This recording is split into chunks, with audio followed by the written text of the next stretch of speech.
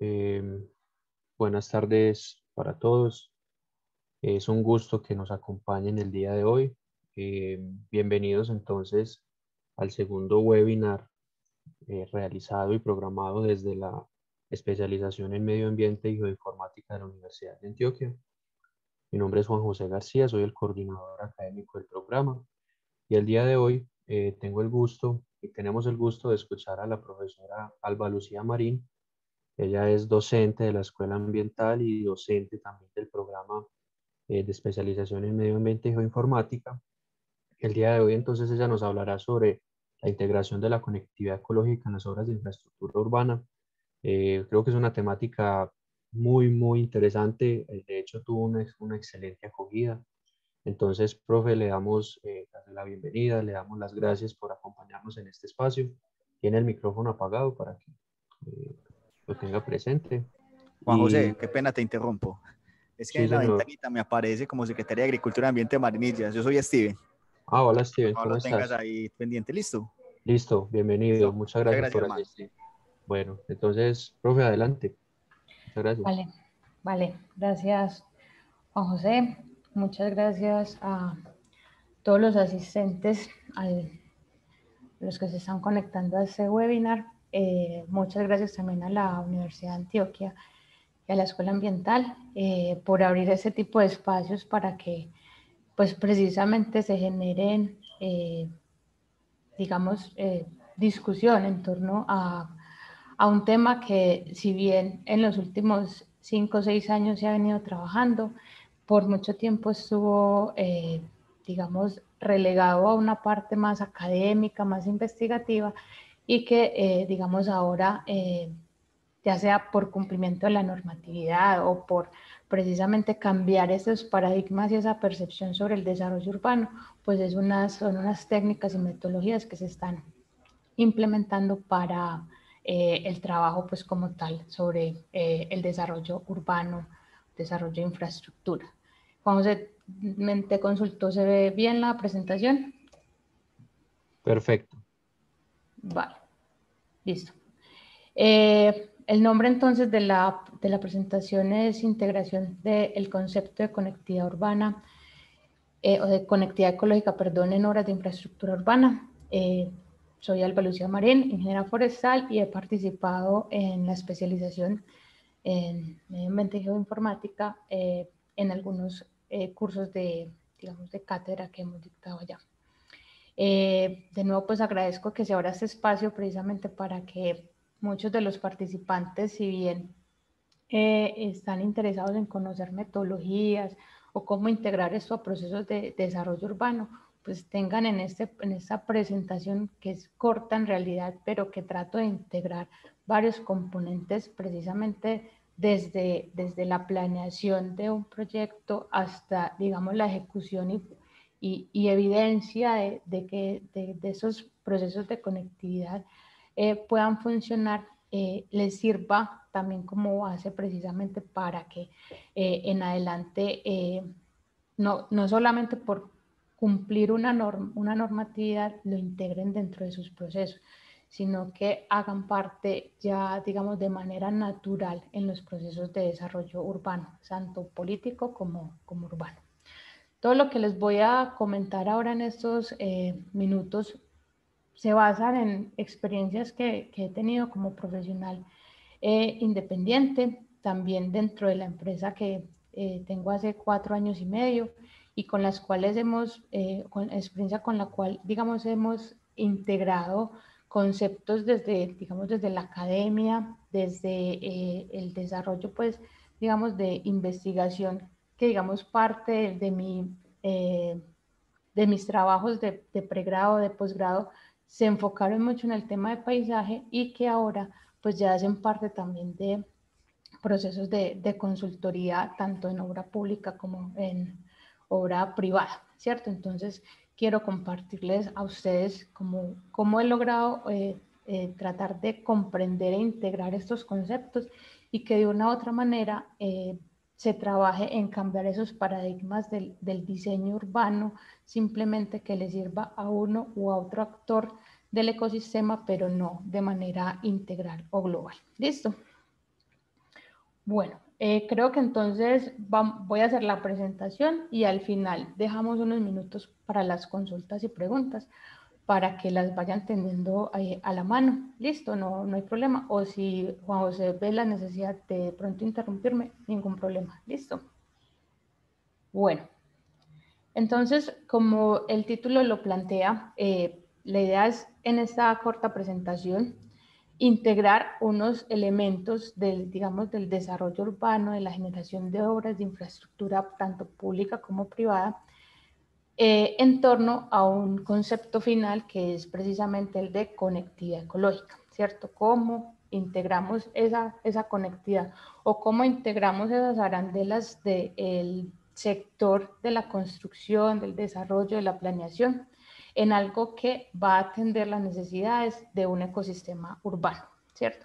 Vamos a hablar rápidamente sobre temas de infraestructura, un poco sobre el ciclo de vida de las obras de infraestructura y en qué puntos precisamente ese ciclo de vida es en el que estamos tratando de integrar y de que eh, se tengan presentes ciertos conceptos desde la ecología, desde la conectividad ecológica, para que en ese diseño y en esa planeación eh, empiecen a integrarse eh, elementos de, de, digamos, diseño de infraestructura verde que lo vayan a aportar hacia ese punto, ¿cierto?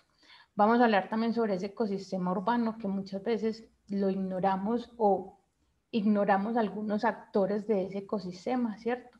Lo estamos planteando para beneficio de ciertos actores, pero estamos ignorando otros, otros, que, otros actores perdón, que cohabitan precisamente en ese ecosistema. Vamos a mirar eh, algo que también pues, nos convoca y precisamente para el tema específico de la especialización y es el tema de las herramientas geoinformáticas, cómo con base en estas herramientas que no solamente nos van a servir para hacer mapitas, sino que las utilizamos para interpretar nuestro paisaje, para modelar ese paisaje y para entregar unos resultados que sean planteados en las obras de infraestructura, van a permitir que se integren todos estos elementos y que finalmente eh, aportemos precisamente elementos para que en esa infraestructura o en ese desarrollo urbano se contemplen elementos eh, naturales o que vayan a favorecer a otros actores que venimos ignorando, ¿cierto? Que son actores del, del ecosistema urbano, pero que en el desarrollo propio y cotidiano de una, de una urbe, de una ciudad, eh, pueden ser relegados o puestos en un segundo plano sin pensar que justamente sobre ellos que está recayendo el mayor impacto que se está generando, ¿cierto? Entonces, hacia allá va a tender como esta, esta discusión y esta presentación que, que vamos a hacer. Bueno, inicialmente, pues claro, que nos convoca también es conocer un poco sobre el tema de infraestructura. Eh, normalmente, eh, tanto en proyectos privados y públicos, hay unas fases muy generales y muy básicas de un ciclo de vida de un proyecto en el cual se plantea una idea básica, ¿cierto? ¿Qué queremos hacer? qué, es, qué, qué, se, qué se quiere hacer en ciertos lugares de la ciudad, si estamos hablando de obra pública, si está, está hablando de obra privada, es, bueno, tenemos un lote, cómo lo vamos a desarrollar y maximizar también aquí en términos eh, constructivos y monetarios este lote, ¿qué, ¿qué, se plantea hacer, ¿cierto? En esta, en esta idea básica eh, hay una integración de varios actores, puede ser el digamos, el sector político público en el cual propone las necesidades que se, que se requieren en ciertas comunidades y establece necesitamos un colegio, necesitamos ampliar la vía, necesitamos andenes, etc. Vale. Solo se sabe la idea. Es eso. Desde nuestro componente, en esta etapa de idea básica, hay que empezar a hacer alertas, alertas tempranas. Ojo que hay una afectación a ciertos ecosistemas. Ojo que de pronto hay afectación a un componente arbóreo, ¿cierto? Es hacer las alertas. Muy chévere el proyecto que se está planteando, pero tenga en cuenta que por acá hay unos elementos naturales que ya se venían desarrollando y que por la implantación de una obra, dada una necesidad, pues se va a ver algún impacto necesario, ¿cierto? Entonces, en esa primera idea básica hacemos como esas primeras alertas de qué es lo que podría pasar. Siguiendo en ese ciclo de vida, pues ya, bueno, pasamos la idea básica, posiblemente es viable, pasamos anteproyecto. En el anteproyecto, entonces ya se tiene, digamos, estructurado en realidad qué es lo que se puede hacer, dadas las condiciones eh, físicas del territorio, dadas las condiciones quizás de presupuesto estimado que haya, eh, de una comunidad que se va a impactar, por ejemplo. Entonces, ya hay unos elementos más claros en tanto el proyecto ya va teniendo más forma, ¿cierto? Aún así, ya las alertas estaban dadas en cuanto al qué impacto sobre el medio ambiente podría darse, ¿cierto? Dada la implantación de cierto proyecto, eh, es muy probable que se tengan que hacer talas, es muy probable que haya que hacer remoción de, de suelo, es muy probable que haya que hacer un, unas obras hidráulicas sobre algunas quebradas, unos cauces naturales, etc. Listo.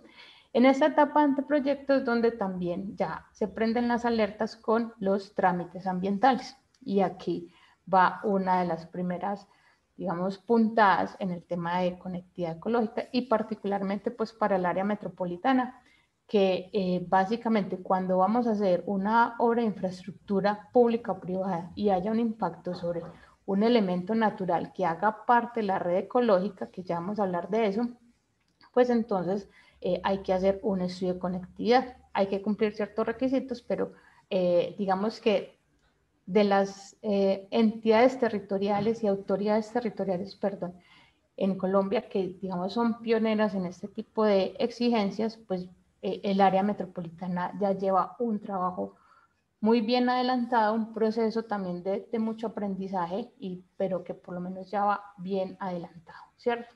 Entonces en este punto ya se hace esa alerta y venga, es que aquí hay que conocer este terreno y hay que mirar por dónde se está afectando eh, esos otros elementos del paisaje que vamos a afectar con esta obra.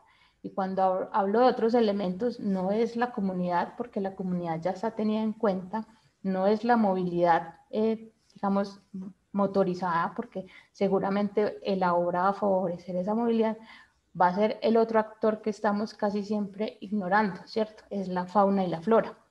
Es acá entonces donde también se va a, a explorar precisamente por dónde están esas redes de conexión y por dónde se impactarían pero también por dónde se mitigaría. ¿Vale?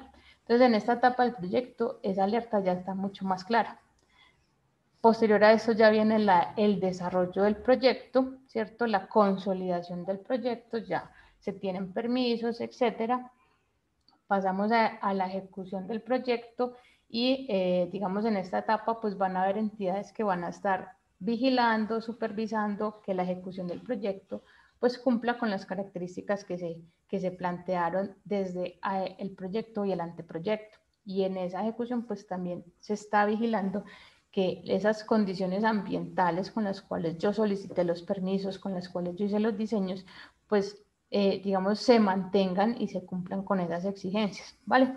Finalmente, pues ya hay una etapa de entrega y seguimiento, pero ya pues eso ya dependerá pues de la estructura de funcionamiento de la entidad que se esté trabajando. Pero aquí hago hincapié precisamente es en esos dos puntos donde hacemos alertas y donde hacemos ese, eh, ese trámite ambiental para poder, digamos, eh, eh, tener un, aprovechamiento forestal y poder plantear una propuesta de reposición que mitigue esos impactos, que ya vamos a hablar de esos impactos. ¿Qué pasa en este ciclo de vida de las obras? Pues básicamente tenemos un, un, proceso que está, está dado básicamente por, se me está como estorbando, ahora sí, está dado por unas necesidades del entorno, ¿cierto? Los proyectos o las obras de, de infraestructura responden precisamente a unas necesidades que está requiriendo el entorno, unas necesidades y, digamos unos requerimientos de la comunidad, ¿cierto? Que la comunidad participe cuando es una obra pública participe precisamente de ese desarrollo, de esa, de esa estructuración del proyecto, porque son ellos quienes van a velar, pues por un lado, que se haga lo que necesitan, que cumplan con lo que, con lo que requirieron, si el andén era de X o Y forma, si las escalas iban de tal forma, si la vía tenía X o Y, etcétera, ¿cierto? Entonces son necesidades, pero que están apalancadas o están cumpliendo con unos requerimientos de la comunidad. Y finalmente, pues claro, casi que al final las obras se ejecutan con base en un presupuesto que había al final, ¿vale?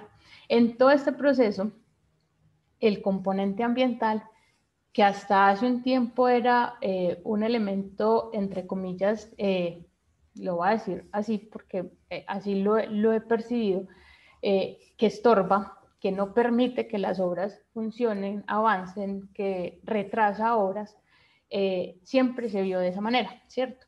digamos que ese paradigma ha ido cambiando porque la mentalidad de un constructor es muy diferente a la mentalidad de una persona con un perfil profesional ambiental, pues, más de fauna, biológico, etc. Entonces es tratar de fusionar en estos puntos de encuentro eh, esas necesidades de ambos, de, de los actores que están ahí, ¿cierto? Es decirle al constructor, no ignore otro actor porque ese actor que es la fauna y la flora, pues también venían desarrollándose en ese paisaje que usted está impactando, ¿cierto? Solucionale también a él los problemas, ¿cierto? Entonces, acá es un punto de encuentro, ¿cierto? No es para entrar a, a, discutir que, que, una obra sea mala, sea buena, etcétera, sino que son puntos de encuentro donde se pueden dar esas pinceladas y donde entraría todo esto que vamos a discutir de aquí en adelante. Bueno, el otro tema es entonces el tema de ecosistema urbano. El ecosistema urbano, entonces, como se define o identifica precisamente esas relaciones que hay entre los habitantes de las zonas urbanas con el medio ambiente, ¿cierto? Pero el medio ambiente no solamente es el aire, el agua que tenemos cerca, sino que hay unos eh, otros seres que han venido coexistiendo con nosotros y que han digamos, evolucionado con base también en, unas dinámicas de la, de la ciudad y del crecimiento urbano y que cada vez pues van a ir siendo más, más relegados. Acá tengo algunas imágenes y son eh, acá en Medellín, en la periferia, pero son en, en Medellín, que demuestran que eh, este ecosistema pues tiene también otros, otros habitantes y que pues está están cohabitando y que cada vez están más relegados a las laderas. ¿Listo? Estos están en San Cristóbal, en el poblado, en Rodeo Alto, hacia, hacia arriba, Alta Vista, etc. Son eh, especies que, digamos, están cohabitando y cada vez están siendo más, más relegadas a las laderas, ¿cierto? Sus ecosistemas están, están, se están estrechando más por el crecimiento urbano que se está dando, ¿vale? Ahora, dentro del ecosistema urbano, pues nosotros también somos un actor importante y no podemos desconocer que acá debería de haber espacio para todos, ¿cierto? Con ciertas características, pero debería de haber espacio para todos.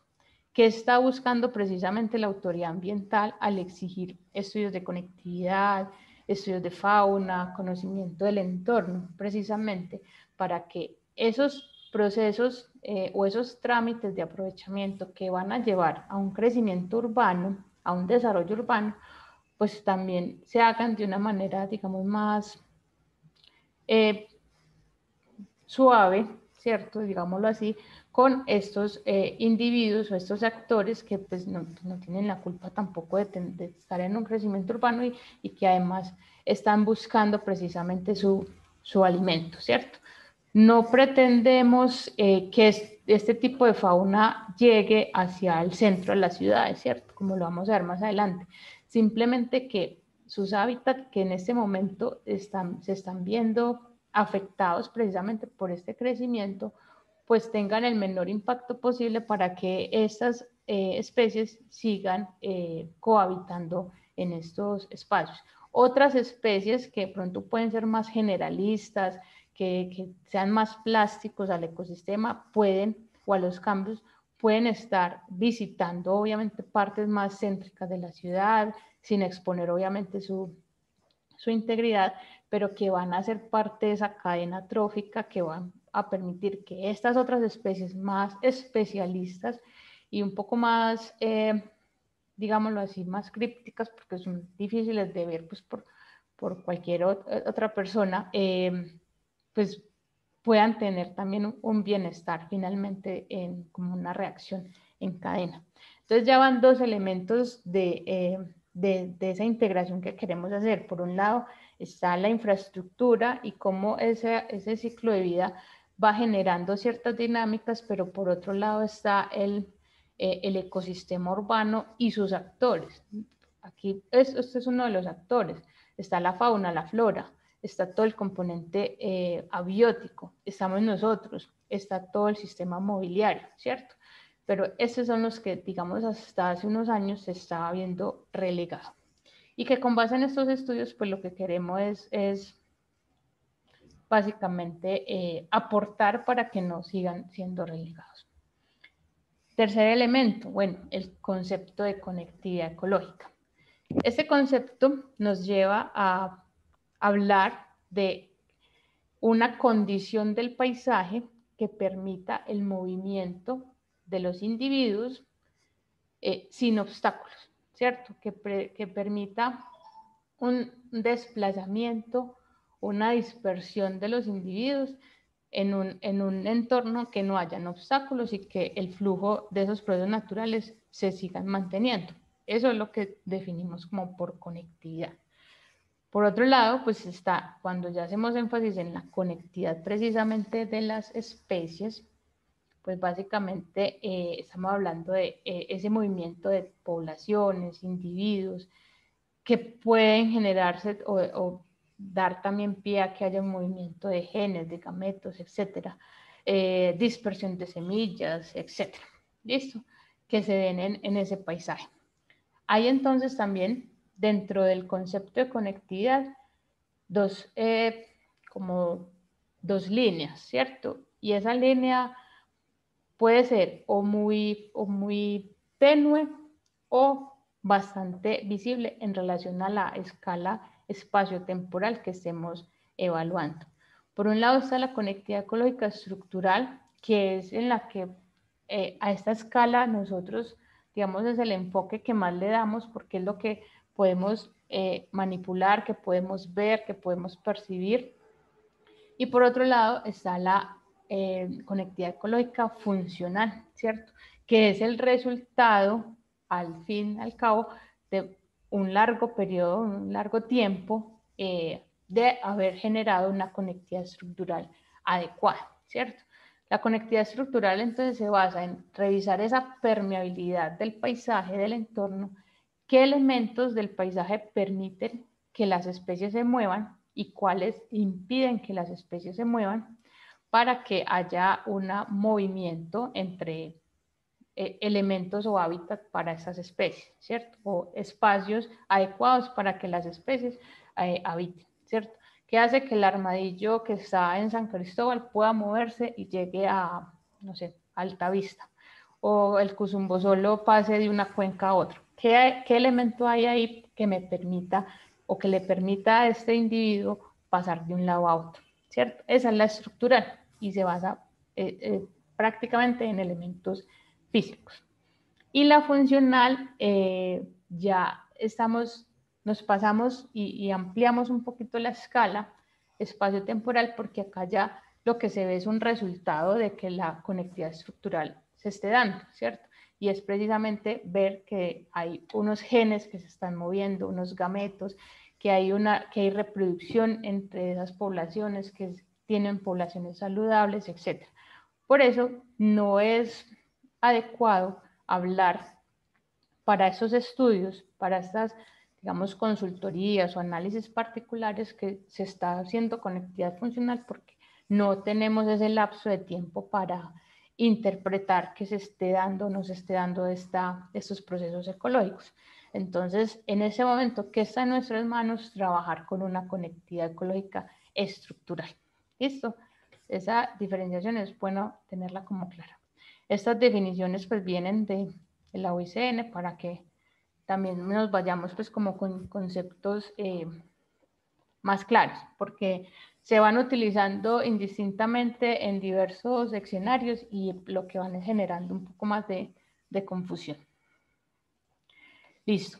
Ahora, está el otro elemento que teníamos planteado y es precisamente eh, el uso de esas herramientas geoinformáticas. Entonces, recapitulo.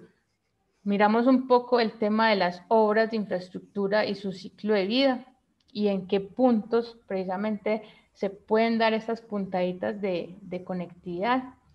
Por otro lado, teníamos el tema del ecosistema eh, urbano, qué elementos hay en ese ecosistema y unos, eh, digamos, actores que muchas veces no están contemplados dentro de un diseño de un proyecto.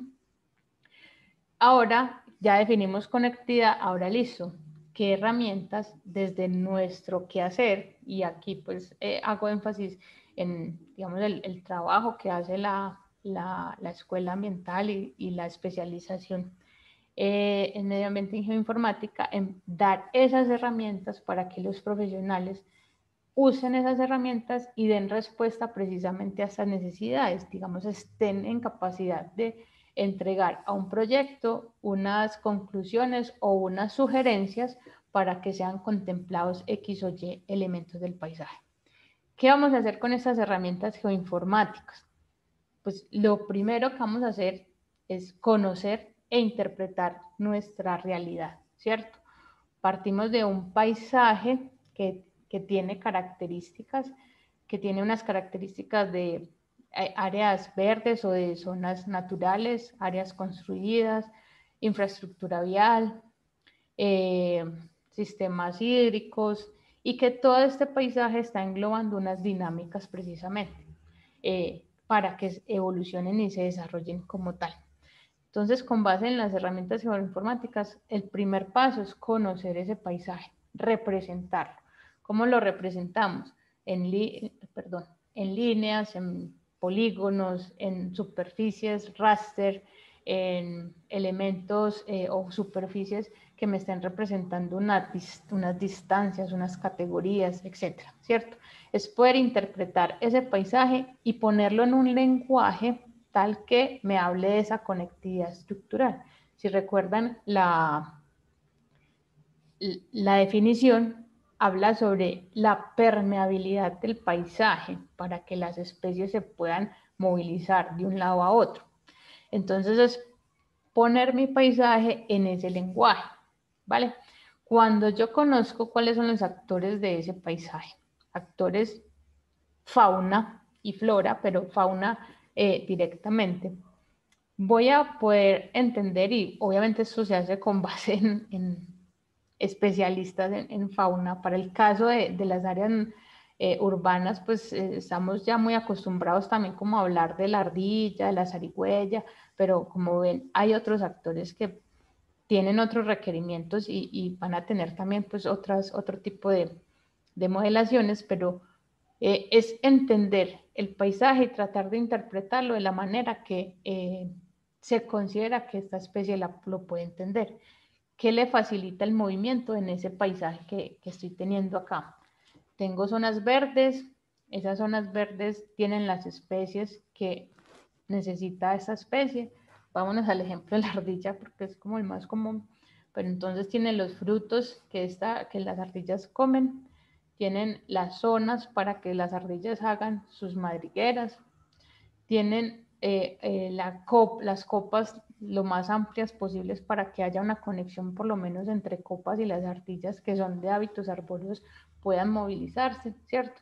Es tratar de interpretar ese paisaje con base, pues obviamente en estudios ya, mm, digamos, de tiempo sobre, sobre, estos, eh, sobre estas especies y llevarlo a esas capas de información, vías, drenajes, cercanía a drenajes, em, zonas verdes, áreas arbóreas, construcciones, eh, bueno, diferentes capas de información con las cuales yo puedo interpretar mi paisaje. Con base en esa interpretación de variables, paso precisamente al siguiente, a la siguiente etapa, que es modelar ese paisaje siempre pensando cómo le sirve o cómo le facilita el movimiento a esa especie, sea ardilla, sea zarigüeya, sea un zorrito, sea eh, la, la, pava maraquera, etcétera, ¿cierto? Cómo eh, le facilita el movimiento. Al modelar ese paisaje, yo ya voy a encontrar por dónde es más fácil que estas especies continúen su movimiento si lo estaban haciendo o logren eh, retomar direcciones o movimientos que antes eh, tenían y que por una obra de infraestructura se vieron truncadas, que es lo más común que pase. ¿vale? Cuando hablo de escenarios es porque eh, hay dos escenarios para mínimo dos escenarios para modelar en conectividad. El paisaje como está ahora, sin proyecto, ¿cierto? Es como está ahora y cómo las especies están interactuando con ese paisaje. Y el, siguiente eh, escenario es hipotéticamente planteando el proyecto, ¿cierto? Hago las talas, hipotéticamente, implanto la infraestructura, una vía, un andén, la edificación, y estimo por dónde se ve truncado el movimiento de estas especies, ¿cierto? Que es un movimiento que ha sido modelado, y eh, también estimo por dónde lo voy a mejorar, a mitigar, ¿cierto? Y en en infraestructura urbana, pues esa mitigación siempre casi por lo general se va a dar por la siembra de árboles nuevos, ¿cierto? Hay otros eh, tipos de infraestructura que ahorita se los menciono, pero generalmente, pues si tal lo tengo que compensar como mínimo y de una u otra manera empezar a mitigar ese impacto que hice sobre estas especies. Vale, entonces en estos escenarios, pues lo que vamos a identificar precisamente son esos puntos críticos. Herramientas geoinformáticas, ¿vale? Eh, creo que la mayoría los conocen. Eh, plataformas SIG que me almacenan, me permiten procesar información, grandes volúmenes de información, editar, tener datos tabulares, registros, etc. Estas plataformas, pues entonces me van a permitir eh, llevar ese paisaje que yo tengo en una realidad interpretarlo en una ortofoto, en una imagen satelital, ¿cierto? Cualquier producto de, sensor remoto, llevarlo a estas plataformas, discriminar esas capas de información, es decir, ese paisaje, eh, diferenciarlo en cada una de esas capas, darles una categoría, una valoración y proceder a modelar, ¿cierto? Conocer qué está pasando. Para eso, entonces, hay unas herramientas eh, llamémoslas eh, complementarias, para conocer precisamente por dónde eh, se están moviendo o teóricamente se moverían las especies, ¿cierto? Y aquí entramos también a las metodologías para determinar conectividad. Entonces, la más común es rutas del mínimo costo, ¿cierto? Una, una metodología basada en mejorar la logística de las empresas, pero que desde la ecología se observó que se podía utilizar precisamente para observar las rutas más óptimas o de menor gasto energético para las especies, que han ido evolucionando y que tienen muchos supuestos, que esto no se puede tomar a la ligera, que tienen muchos supuestos, pero que nos van a dar información precisamente hasta dónde hacer intervención con el menor gasto posible y con, entre comillas, la mayor efectividad. Está Circuitscape, que trabaja con eh, teoría de circuitos eléctricos, ¿cierto? Casi que al final también se resume en conocer unas franjas y unas zonas de, paso, de, conexión de las, de las especies de menor costo. Linkage Mapper, que trabaja bajo plataforma ArcGIS. Y GraphApp, que también pues, es, es gratuito, Circuitscape y GraphApp es gratuito y que permite también modelar y conocer índices de red, índices de conectividad. Aquí rápidamente y sin entrar pues como en detalle en nombres de proyectos, es un extracto de uno de los estudios. Conocer, y les voy a representar algunos de esos pasos precisamente desde las herramientas de geoinformática, conocer precisamente eh, ese paisaje, qué hay en ese paisaje que está facilitando o no está facilitando el movimiento de algunas especies. En áreas urbanas tan intervenidas, pues casi que uno trabaja con aves o con la ardilla, que es lo más común. En la periferia, en las laderas, pues digamos que hay muchas más especies, como les mostré en los videitos, con las cuales uno pueda hasta integrar unos elementos más, como más interesantes, ¿cierto? Esto es como el paisaje actual. Acá es donde les digo que eh, discriminamos las variables del paisaje, esos elementos que me están generando algún tipo de restricción para el movimiento de las especies, les doy una calificación y empiezo a observar cómo algunas zonas se eh, observan que facilitan el movimiento y bajo ciertos supuestos y otras que definitivamente generan cierta resistencia, ¿cierto? Siendo aquí lo verde pues lo más eh, digamos, potencialmente que sirve más para la conectividad, lo rojo pues siendo lo más restrictivo, ¿cierto? En ese mismo escenario actual conozco por dónde es lo más probable que se está generando esos movimientos, ¿cierto? Si es que se dan, por dónde se están dando. Por aquí vemos unas rutas casi que entre los edificios, pues claro, es que hay una, una vegetación que está ahí que me está formando unos conectores entre copas y me pueden estar facilitando el el movimiento, ¿cierto? Por aquí pues hay una zona despoblada de árboles, eh, digamos que no, no va a haber un choque con, con una pared, un muro, etcétera, pero no va a haber como muchos elementos para que las especies estén. Y, ups, llegan al río, a, la avenida eh, regional, llegan al río y se convierte en una barrera, por lo menos para los, eh, la fauna terrestre, ¿cierto? Pero aquí ya me está hablando por lo menos de unas zonas por donde se está moviendo la, teóricamente, la fauna. Sigue el escenario, bueno, estos son unos puntos críticos donde faltaría sellar y generar esa conexión. Y viene entonces el planteamiento del proyecto. Ah, listo. Estos son unos edificios y ahí va a haber una plazoleta venga, señor constructor, recuerde que yo por aquí le mostré que había una zona que se estaban conectando. Si usted trunca esa zona, ¿por dónde más se van a conectar? Ah, sí, mira, esta zona es una plazoleta. ¿Qué vamos a plantear ahí para que la conectividad se mantenga, ¿cierto? Para que la conectividad eh, no se trunque. Entonces, pues se generan unas zonas en las cuales eh, se puedan plantear ciertas eh, compensaciones forestales de manera estratificada que les sirva a unos y a otros eh, con diferentes requerimientos, flores, frutos, eh, semillas, néctar, para que precisamente pues se mantengan o se mejoren esas condiciones, porque eran unos parqueaderos, ¿cierto? Casi que se está es mejorando esas, esas condiciones, ¿cierto?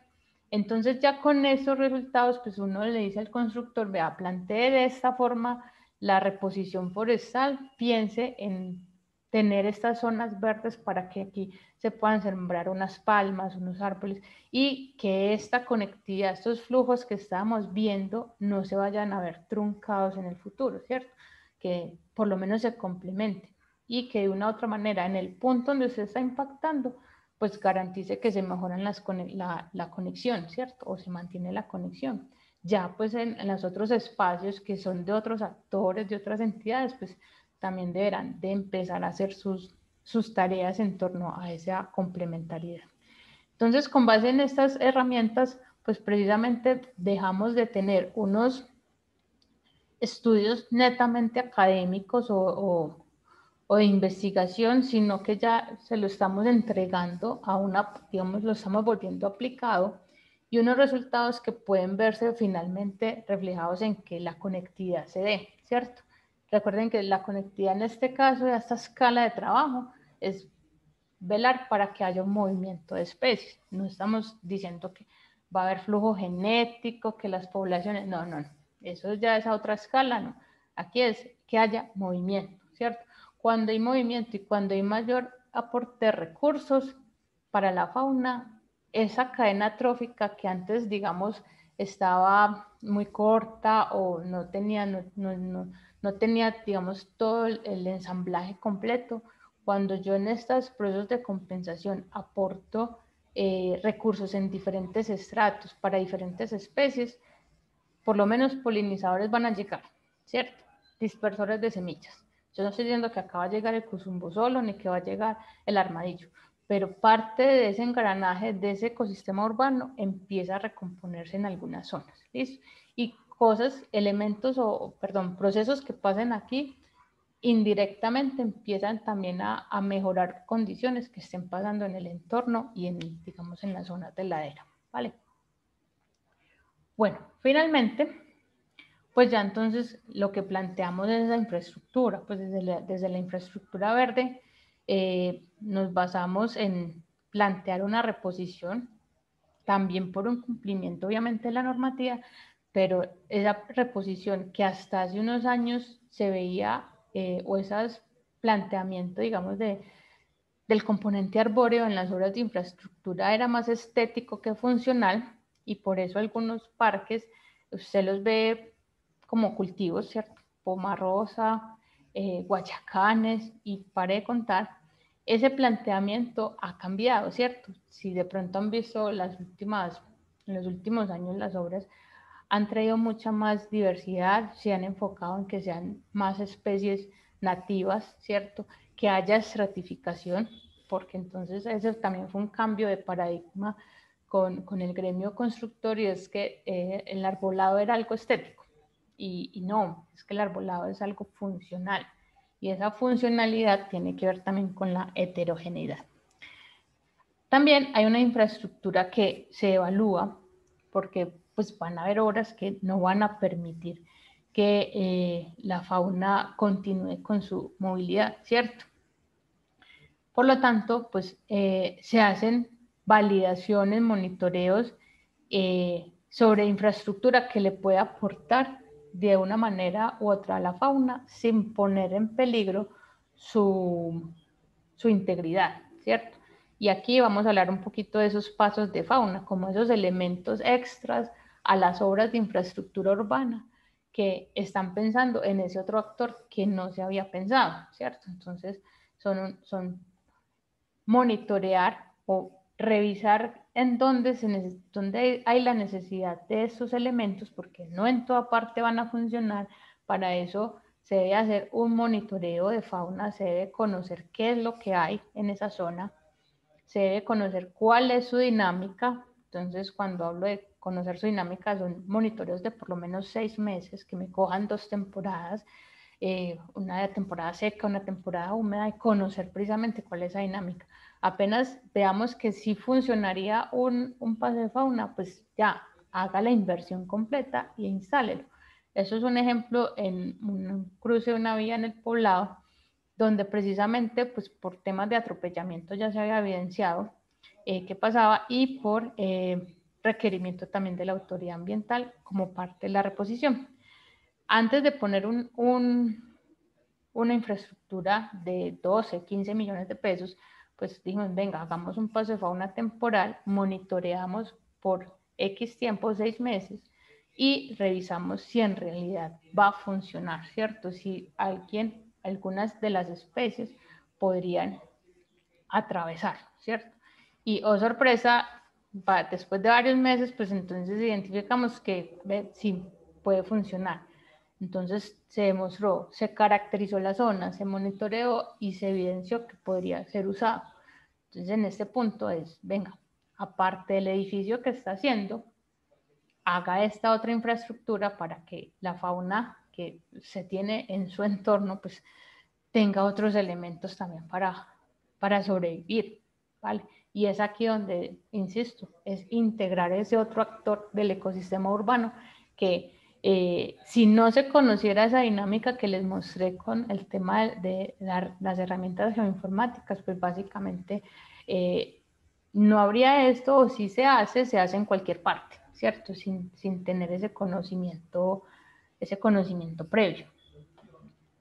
Finalmente, eh, el tema ya con infraestructura urbana pública o privada, lo que lleva es a que tengamos este tipo de cambios en paradigmas, que si hasta hace unos años, seis, siete años, las obras de infraestructura eran eh, concreto a, a la vista, cemento, básicamente, a ese paradigma ha cambiado y empezaron a levantar pisos duros para incluir zonas verdes. Y zonas verdes funcionales, ¿cierto? que permitan precisamente eh, que esa esas cadenas tróficas, así sea desde la más básica, que es atraer insectos, empiecen también a funcionar sobre esos ecosistemas y empiecen a atraer otras, otros elementos. Esto, digamos, tiene unos pros y unos contras, mantenimiento, valor, etc. pero que a la final ya se está integrando ese otro elemento que habíamos relegado de, o ese otro actor que habíamos relegado de ese paisaje y que con base entonces en, en esos estudios, pues casi que se validan precisamente la, la necesidad se valida, pero también se valida un poco esos resultados que, que estamos esperando. O sea, eh, contados 5 o 10 años, digamos que la ciudad de Medellín, particularmente por los procesos que conozco y que eh, digamos, como ciudad también hemos vivido, casi que va, se va a ver un poco más verde precisamente por el cambio de, paradigma que, que se está dando. Finalmente, pues con, con, esta corta presentación quería presentarles precisamente cómo desde unas herramientas muy puntuales de la geoinformática, nosotros desde nuestra disciplina podemos aportar precisamente a que ese desarrollo urbano pues además de considerar que para la comunidad que diseñado perfectamente, cumple las necesidades, que si, que si era la movilidad, que si era el tema habitacional esté bien, también desde la parte de fauna, de flora indirectamente, pues también se, esté contemplando y que además se esté demostrando por medio de resultados de, o productos de estas herramientas que pueden generarse entonces eh, condiciones que mejoran la conectividad, ¿cierto? Permitir la integración de los elementos del ecosistema urbano, eh, pues lo, he repetido en, la, en la, charla, eh, elementos del ecosistema es todo el, el ambiente que, que, estamos acá, digamos, desarrollando, ¿cierto? No solamente pensar en mi bienestar, sino pensar que aquí cohabitan otras especies, que hay otras condiciones eh, ambientales y que van a necesitar también que en ese desarrollo urbano se contemple qué va a pasar con él. Y aquí hablamos simplemente de infraestructura verde, por ejemplo, que entonces están, eh, o como complementaria, pasos de fauna, muros verdes, revegetalización, cambio de pisos duros por pisos blandos, eh, permeabilización de las zonas. Estamos llegando a zonas muy impermeables, llevando paisajes a volverse muy impermeables cuando ya lo que estamos es revertiendo eso. Pero también hay que pensar en la infraestructura azul, ¿cierto? Que está pasando con toda la red hídrica en Medellín, que además van a aportar bastante en, en estas, en estas condiciones de conectividad. Permite eh, generar estrategias para mejorar las condiciones del entorno para la fauna y flora, ¿cierto? Es pensar en ese otro elemento, integrarlo también en estas obras de desarrollo urbano. Y, y si nos vamos a, a, ese concepto del proceso de una obra, del ciclo de vida de una obra de infraestructura, hay puntos en donde se hacen alertas y hay puntos donde, venga, se necesita hacer esto, intégrelo antes de que el proyecto se vaya para curaduría, para cualquier otro. Muchas, digamos que eh, una de las estrategias que hemos tratado de manejar con el gremio constructor es decirle, vea, usted al primer cliente que le tiene que vender un, un proyecto de infraestructura es a la autoridad ambiental, ¿cierto? Es el primer cliente que usted le tiene que eh, vender su proyecto. Integre estos conceptos desde el diseño para que cuando llegue a la autoridad ambiental, pues ya cumpla básicamente, ¿cierto? Ya es una cuestión pues, de trámites y hacer una reposición, pero ambientalmente usted ya lo vendió. El, resto, pues mucha gente también se está yendo por optar por proyectos ambientalmente responsables, entonces casi que se va a vender solo, básicamente, ¿cierto? Eh, hay beneficios indirectos sobre los actores, ¿cierto? Es, o sea, hay beneficios indirectos para nosotros. El hecho de que el actor fauna y flora esté contemplado en, en las obras de infraestructura, indirectamente pues también nos van nos van a beneficiar a nosotros. Y un caso es, por ejemplo, el tema de los polinizadores que necesitamos cuidar, proteger y defender a capa de espada. Y si estas obras contemplan espacios para, para este grupo faunístico, pues básicamente eh, se está haciendo bien la tarea. Generación de paisajes menos impactantes para la fauna, ¿cierto? Minimizar ese impacto que en ese momento tiene la fauna, esas restricciones para, para moverse. Y pues efectivamente pueden haber unas desventajas, ¿cierto? Eh, generar espacios óptimos para la fauna puede generar, no sé, que eh, ya la fauna, digamos, lo voy a decir así coloquialmente, se acostumbre y, se relaje y ya empiecen a haber eventos de atropellamiento, mortandad, el tema de los gatos, etcétera, ¿cierto? Puede, puede generarse eso, pero digamos que una, un concepto bien manejado sobre estos temas eh, van a permitir precisamente que en conjunto, en conjunto estos elementos se integren para, para mejorar los diseños, ¿cierto? Para mejorar el entorno y el ecosistema urbano. Eh, yo creo que estamos ahí. Muchas gracias eh, de nuevo a Juan José, a, la especialización, a la escuela ambiental por, por abrir ese espacio. Están mis datos para cualquier consulta que, que tengan o con Juan José también nos comunicamos. y finalmente, pues aquí está el contacto de la, de la especialización, pues que también invitamos a que a que se inscriban y, y armemos una corte bien chévere para tratar esos temas ya desde lo más práctico también, ¿cierto? Y llevar esto al, al hacer. Gracias, Juan José.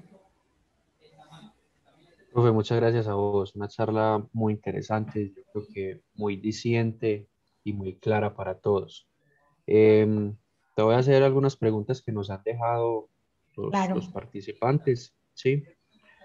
Dice eh, Mariana Martínez, ¿cuál sería la propuesta para conectar esos corredores o pasos de fauna en los lugares donde se cortan esos pasos por una vía? Bueno, creo que de cierta manera ya la habías dado eh, con los pasos, pero hay algo que agregar respecto a eso. Sí, eh, es decir, hay, hay, hay zonas en las que uno puede garantizar o mantener que, que, que la fauna continúe su paso, ¿cierto? uno no puede estar haciendo pasos de fauna en cualquier punto porque uno tiene que garantizar que la fauna que voy a mover del punto A al punto B, en ese punto B va a encontrar recursos en igual o mejor estado que en su estado A, que en su punto A, ¿cierto? Entonces ahí es donde nosotros eh, pensamos precisamente en eso, en que haya mm, un monitoreo y una validación de que se requiere si lo que voy a poner o lo que voy a hacer es exponer la especie a que llegue a un ambiente más hostil, a que ponga en peligro su, su integridad, pues básicamente no, no, es lo más recomendable, pues y para eso es la caracterización y para eso es el monitoreo.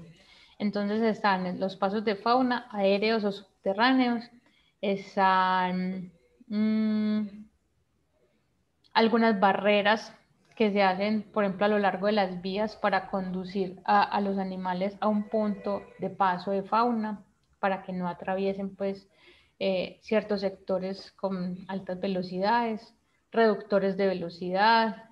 Bueno, hay, hay, varias estrategias, pero principalmente sí es muy necesario que haya esa caracterización. Gracias, profe. Otra pregunta de Leonardo Moreno. ¿Cuál sería la manera correcta de definir el área mínima para hacer el estudio de conectividad? Dado que en muchos proyectos urbanos, en el caso de Bogotá, la caracterización y el análisis se hace para un área de influencia directa, lo cual no brinda los suficientes elementos para realizar un correcto análisis. Bueno, ahí te perdí el sonido, pero escuché algo sobre el área de influencia, eh, el ah. área de trabajo.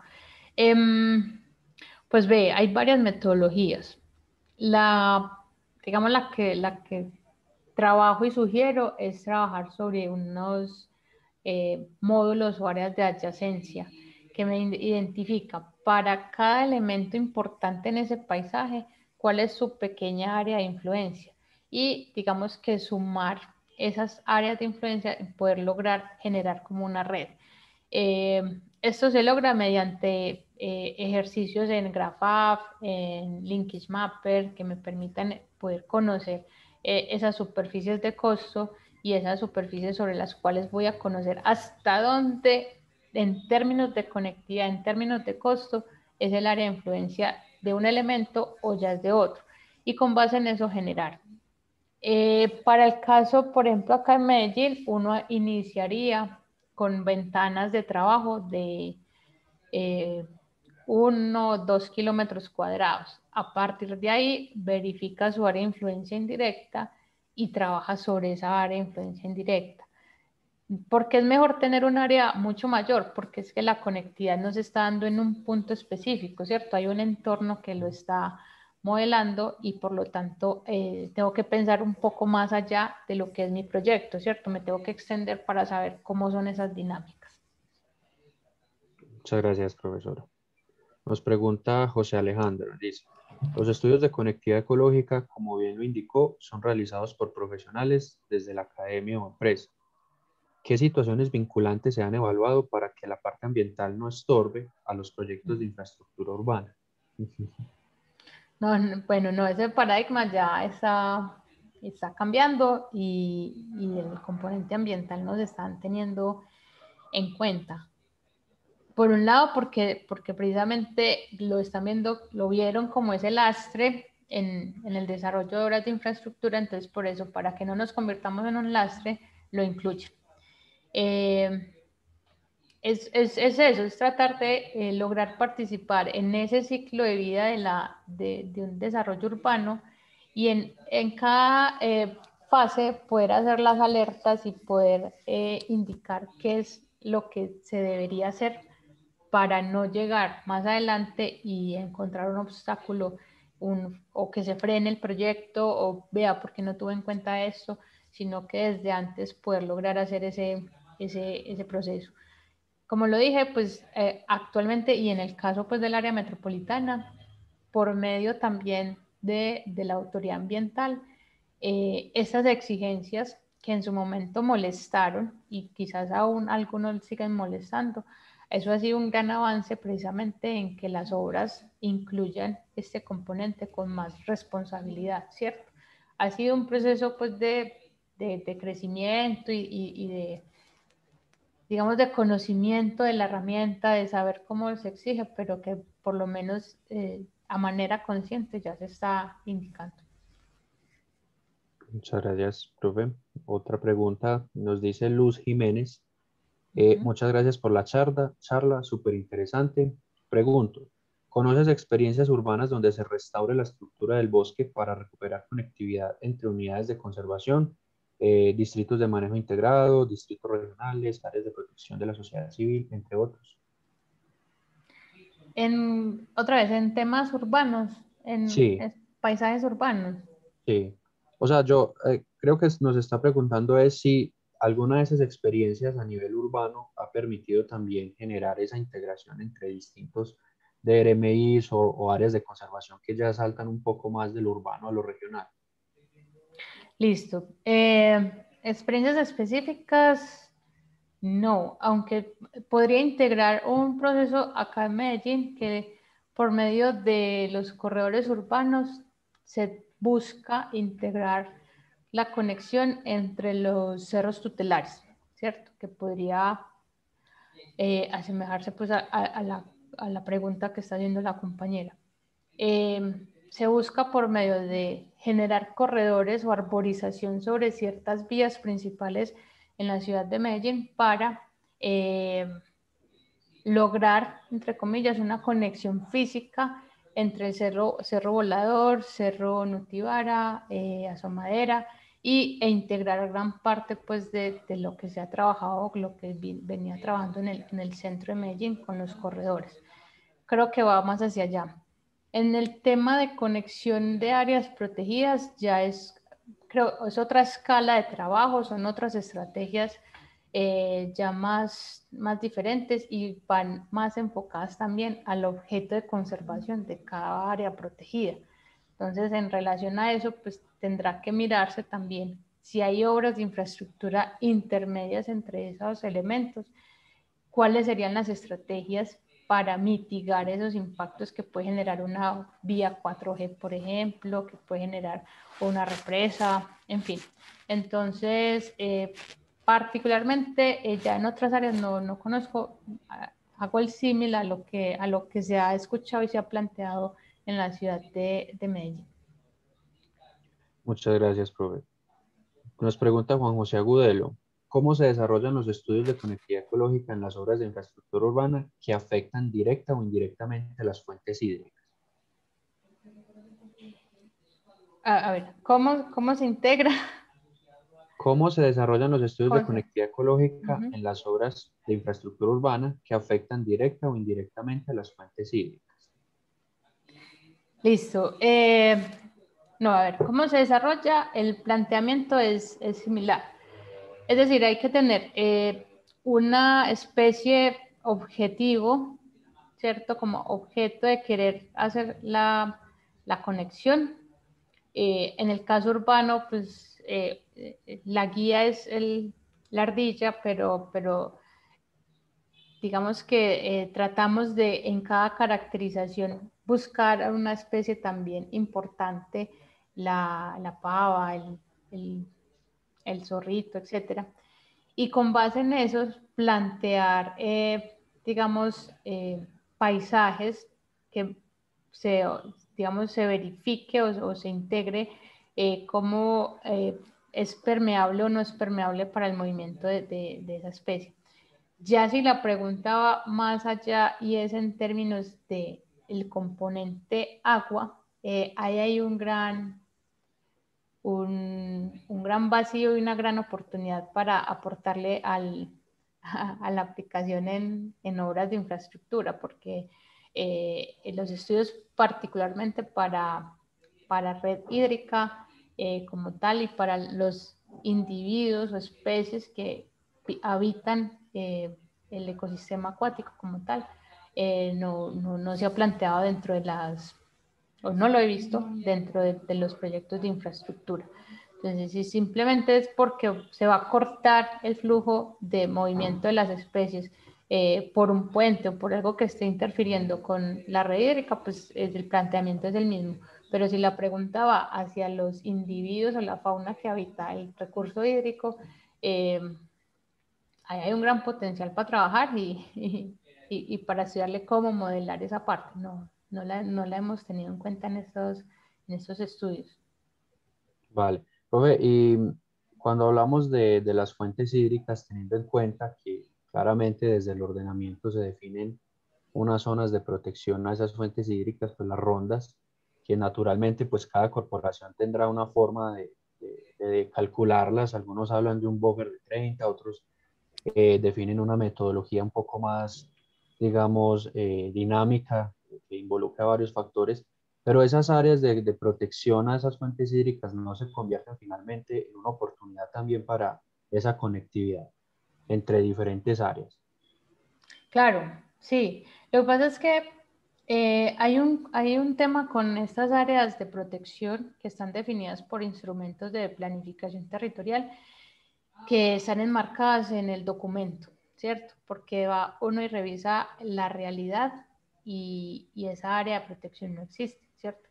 En Medellín tenemos eh, viviendas en, en toda, eh, casi que ocupando el cauce de las quebradas y es un retiro de la quebrada. Entonces hay elementos desde la, desde la planificación y como instrumentos de planificación que ordenan que sea eh, protección, que sean elementos para ¿sí? para, para proteger como tal, pero que en la realidad el paisaje actual lo que está mostrando es muy, son situaciones totalmente opuestas. Entonces, más que integrarlo como una variable dentro del modelo, como ronda de protección, es integrar esa, ese elemento como eh, potencial de, de mejora de, de, esa conectividad, ¿cierto? Pero ya como aplicación del instrumento más no como elemento de, del paisaje como tal, porque es muy probable que pase que eh, actualmente eh, esa ronda de protección esté ocupada por construcciones, por vías, etc. Pero como, el, como instrumento para guiar esa conectividad, claro que sí, podría funcionar bastante. Muchas gracias, profe. Tenemos por acá otro par de preguntas. Pilar nos, nos dice, eh, buenas tardes. Cuando se entrega un paso de fauna, se entrega el programa de mantenimiento y hasta qué periodo la obra o proyecto se hace cargo de las necesidades que surjan de ese paso de fauna como tal. Mm. Bueno, ese ha sido eh, uno de los temas eh, que el año pasado pues también nos, nos, nos, quitó el sueño un poquito porque, porque es una infraestructura que se ubica sobre elementos de de la ciudad, que puede ser espacio público, eh, pueden ser rondas de, de, protección a, redes hídricas o puede ser espacio privado. Eh, no está normatizado, no es espacio público, no se puede considerar como una valla publicitaria, por lo cual no puedo ir a espacio público a pedir permiso, déjeme instalar eso, ni tampoco me lo van a recibir. Por lo tanto, la autoridad ambiental, quien es quien lo exige, eh, asume esa, esa responsabilidad. Este caso que les mostré eh, lo deben de construir y hacerle mantenimiento por cuatro años, que es el mismo tiempo que lleva la, el mantenimiento de los árboles y a partir de esos cuatro años se le entrega a, la autoridad ambiental, ¿cierto? Entonces lleva esos, ese diseño lleva un plan de, mantenimiento, eh, pues lleva obviamente toda la materialidad y, y se debe, digamos, responder a, lo que uno planteó. Eh, pero sí, finalmente es por cuatro años, según el, el criterio pues del, del técnico y finalmente lo que supe, caso particular porque no sé para otro tipo de proyectos, lo recibe la, la autoridad ambiental. Ok, muchas gracias, profe. particular para el área metropolitana, no sé el resto de, autoridades. Em, pues es que, bueno, no sé, pero creo que el área metropolitana es, es de las pocas que realmente pide este tipo de estudios de conectividad para a nivel urbano, por, por, lo menos. Entonces, muchas gracias, profe. nos, nos, pregunta Lorena Hernández, eh, bueno, nos dice muchas gracias por la charla, muy valiosa e importante. Quisiera consultar si la especialización cuenta con un diplomado o curso de herramientas de conectividad ecológica. Pues realmente este, este tema lo abordamos desde una asignatura que se llama y se denomina geoinformática, que es una asignatura que se ve en el primer semestre, en la cual pues la profesora Alba nos acompaña. La idea es que podamos profundizar estas temáticas en una charla que haremos sobre el programa como tal y sobre el posgrado eh, en unos días. Oportunamente yo los estaré invitando e informando. Por acá, al parecer, no hay más preguntas. Yo tengo una última, profe, me disculpas, pero este tema es muy interesante. Eh, bueno, y ¿realmente considera usted o de cierta manera cómo poder integrar estos elementos que van, bajan a una escala a nivel urbano, pero para que dejen de ser a esa escala tan pequeña y se consoliden como elementos también a nivel de ordenamiento territorial? Es decir, que estos, de cierta manera, estos estudios pudieran ser parte también de, de un plan de ordenamiento territorial o de un plan básico, de un esquema, donde de cierta manera se puedan visibilizar estos, este tipo de, herramientas y estudios de conectividad a nivel rural que de cierta forma también permitiría conectar lo que nos manifestaba también la, la asistente a horas de las áreas de conservación regional, de muchos elementos que muchas veces las autoridades ambientales tienen, pero que no pareciera que no tienen cohesión o no se juntan o no se unen entre ellos. Entonces, ¿considera usted que esto podría ser una oportunidad también para generar esos escenarios dentro del ordenamiento? Pues, Juan José, ya son, ya son escenarios de, de planificación. El POT de Medellín, que es de 2014, dentro de los criterios de, de, intervención sobre, sobre áreas eh, públicas y que intervengan elementos de la red de conectividad del POT, exige precisamente una una caracterización y una verificación de cómo se, estaría impactando la red de conectividad establecida por el POT y cómo se mitigaría, ¿cierto?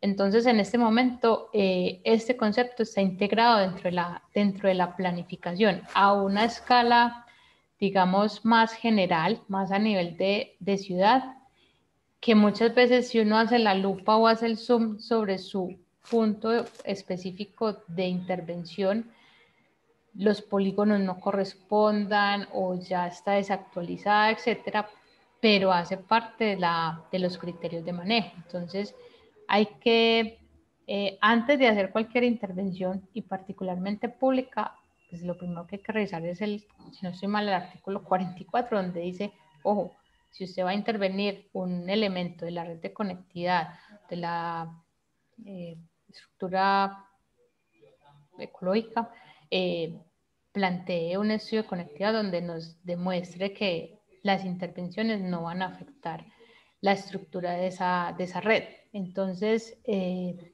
la respuesta es que sí, hacen parte de los instrumentos de planificación a nivel urbano, a nivel regional, y, y, es por eso también que no se puede tomar a la ligera esos estudios que se deben de hacer a conciencia, y cuando hablo, ah, digo conciencia es con las variables definidas eh, de una manera lo más adecuada y consciente posible, que en realidad estén demostrando lo que es la, la realidad y que de esa manera se le plantee al municipio eh, o a la autoridad que de una u otra manera se va a mitigar. Pues la, la idea tampoco es ir en contra del, del desarrollo urbano, sino también integrar precisamente eh, esos elementos de la planificación con los del desarrollo, ¿cierto? Que, se va a dar, pero sí, sí hacen parte en ese momento de la, de la planificación urbana. Perfecto. Y nos hacen una última ya para cerrar. Nos, nos pregunta Fernando Rondón. Em, ¿Existe normativa actual que exija a las obras urbanas realizar estas acciones a nivel nacional o más bien responde a cada jurisdicción de corporación? O eh, entidad pues, ambiental. A ver, otra vez, ¿existe la norma que? ¿Existe normatividad actual que exija a las obras urbanas eh, realizar este tipo de acciones o este tipo de estudios, pero a nivel nacional? ¿O ya depende más bien de cada jurisdicción o de cada entidad ambiental? Vale. Eh, a nivel regional lo está exigiendo área metropolitana, a nivel local y para obras públicas el municipio de Medellín, el, el DAP. Para otras regiones, creo que Corantioquia eh, ha exigido en algunos proyectos viales y a nivel nacional la ANLA tiene en sus términos de referencia eh, un componente de conectividad. Muy puntual que uno quisiera que fuera más específico porque piden más una relación de métricas y dejan varios conceptos al aire. Eh, que digamos se manejan muy, de manera muy mm, deportiva, entonces uno queda como o hago un análisis completo o simplemente, simplemente comparo eh, métricas. Pero a nivel nacional, entonces para proyectos licenciados está la ANLA y a nivel regional, que sea de mi conocimiento, eh, área metropolitana y municipio de Medellín. No sé otras corporaciones del país cómo lo, lo estarán manejando. Vale, profe, listo. Yo creo que esas son todas las preguntas. Eh, vale. Nuevamente, le agradecemos mucho, profe, su participación. Es como siempre un gusto escucharla. Eh, esperamos, obviamente, que contar con la participación de los asistentes en el posgrado, donde este tipo de, de elementos se pueden ampliar un poco más y se puede ir un poco más al manejo como tal de la herramienta para este tipo de modelaciones. Así que eh, un saludo y muchas gracias también a todos los participantes. Nuevamente, profesora, muchas gracias eh, y hasta luego.